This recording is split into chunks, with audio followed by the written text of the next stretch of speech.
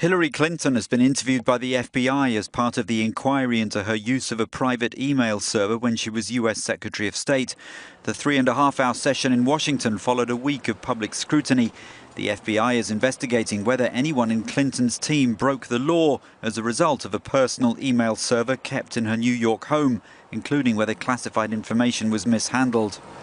The Democrat is expected to be formally nominated as the party's presidential candidate this summer, but her team have struggled to respond to accusations over use of the server in violation of State Department protocol.